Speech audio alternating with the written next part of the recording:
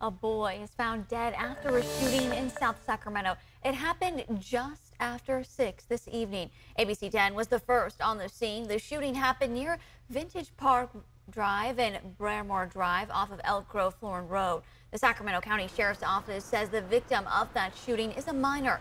They say the shooting was more than likely gang related and that six or seven minors were involved in the confrontation between two groups. The sheriff's office says there was possibly shots fired between the two groups before the fatal shooting.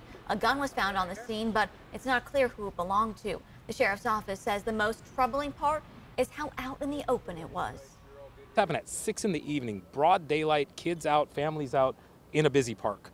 So this isn't something that, you know, like I said, this isn't occurring in some back alleys in some seedy places of town. You look around, it's a neighborhood full of families, full of people.